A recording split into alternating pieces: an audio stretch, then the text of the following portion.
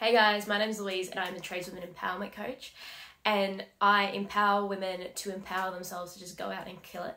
Um, today I'm going to be talking about celebrating your wins and I'm going to tell you about my wins over the years, um, which is something that I really, really need to do um, for something that is coming up and I really need to acknowledge that I deserve to be there. So I know, like, I personally have struggled with imposter syndrome. And I think one of the things that has caused me to struggle with imposter syndrome is that I don't acknowledge the hard work that I have put in to get something. I'm just like, oh yeah, that was a fluke. Like I was just in the right place at the right time. Like I didn't deserve that. I was just there.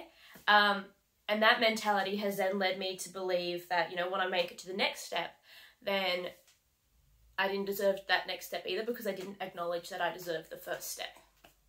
Um, so I'm going to tell you about my world skills story because I am the chief judge for the National World Skills Competition for heavy vehicle mechanics and sometimes I really have some doubts on whether or not I deserve that position. Um, I applied for it and there was a selection process for it, so I know I was actively selected for that position. But sometimes I think like I'm just a baby. Like what do I what did I deserve to do this?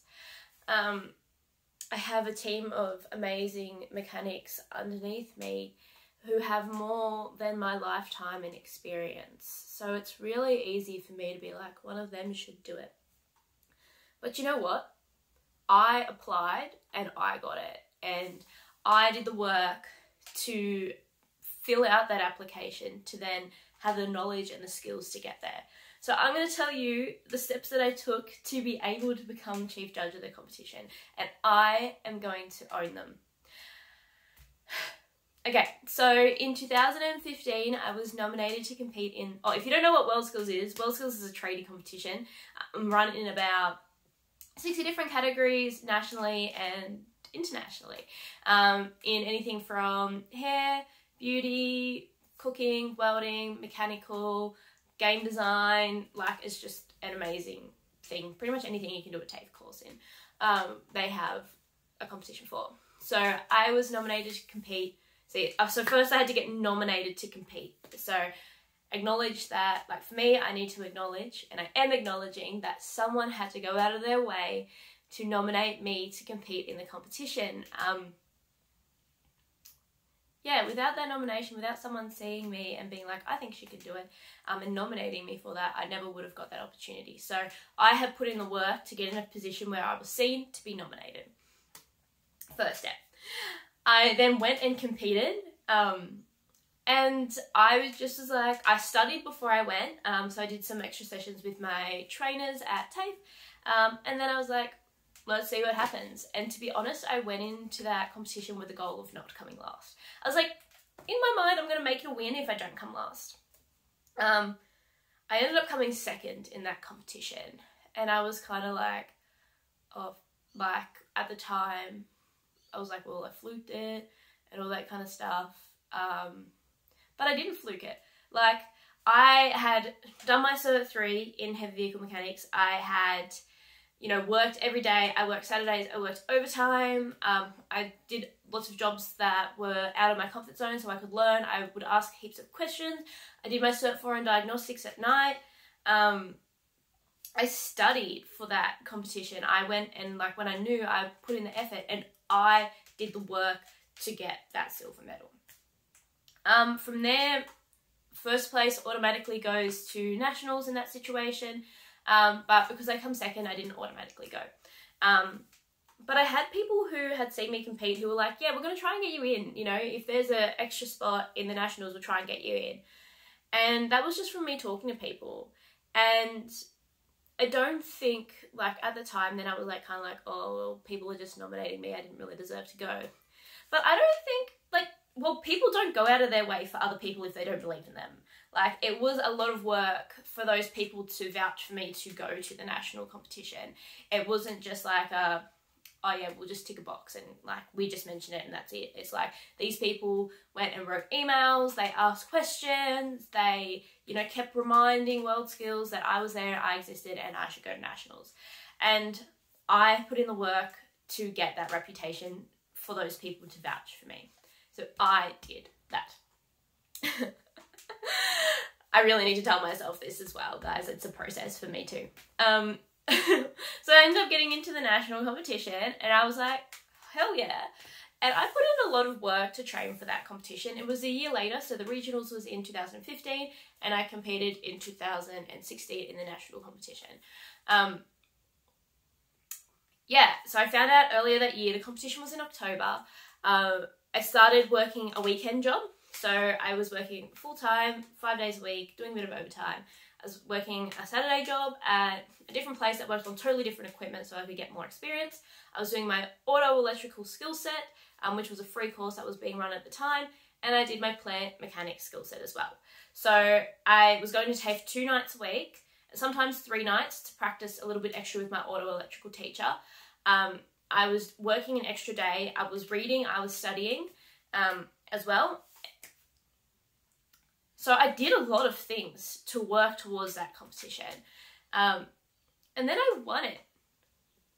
I won the National World Skills Competition, and it was the best feeling ever.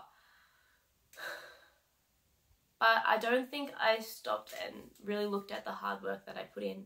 I had people telling me that, you know, you know, you work so hard for this, it's so great to see you. And I was like, oh, well, I just did a little bit of extra study.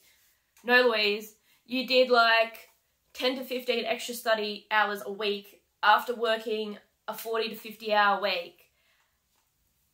Oh, I wish I could go back and be like, girl, you worked for this. But now I'm going to tell myself that I worked for that gold medal. I got it and I deserved it and I gave it my all. And I totally own that. Um, yeah, and then after that, I then applied to compete at internationals because it's not an automatic pathway into international. So I had to apply, um, and all the hard work that I put in is what I put on my application. Um, and then I got into competing. Well, I got into the skill squad, which is training to compete to the international competition. I competed at the Global Skills Challenge, um, which then I was selected officially to be a skillaroo, so to compete in the international competition. Um, the competition was into the Global Skills Challenge was in 2017, earlier on in the year, and the international competition was in 2017 in October, so later on in the year. Um, and I did the work for that. I was training instead of doing nights at TAFE because I was working a bit further away from TAFE. I was doing a full day every fortnight, um, and then I was doing a lot of kind of study and extra little bits and pieces. Um, to really get myself up and running for that. I did some, I did a few weeks full time um, training. Yeah, and I did I did a lot of things for that international competition. I put a lot of pressure on myself because I felt like I wasn't doing enough.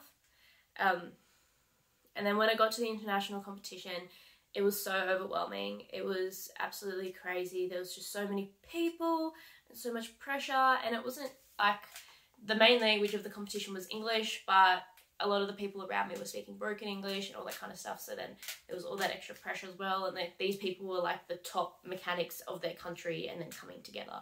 Like it was just like, it was amazing. It was just so overwhelming as well. But anyway, I ended up coming fourth in that competition.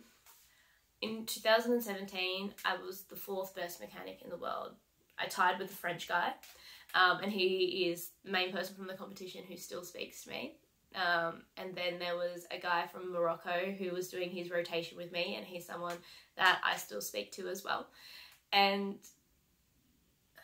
I think, like, even after that, I went on holidays for ages. Oh, about two and a half months, I traveled internationally. And I. I don't think like even in that moment, I didn't really go back and look at all the hard work that I got to get that medal. Um, yeah, but I did work really hard for that. So in um, in internationals, you can get so you get first, second, third, so gold, silver, bronze, and then you get medallion of excellences excellence if you get like above a certain point range. So I ended up getting a medallion of excellence. I travelled, and then the next year, so in 2018, I was chief judge for a regional competition that was held out in industry. Held over two days, um, and that was a lot of work.